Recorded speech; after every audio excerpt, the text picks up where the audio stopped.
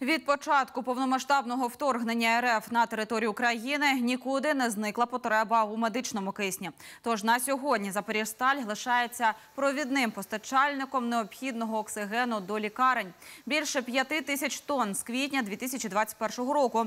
На комбінаті кажуть, відвантаження є системним і лишатиметься такими надалі. Адже цей процес рятує життя як військовим, так і всім цивільним, що цього потребують. Цей важкий для країни час ми продовжуємо відвантажувати кисень медичний на потреби лікарень.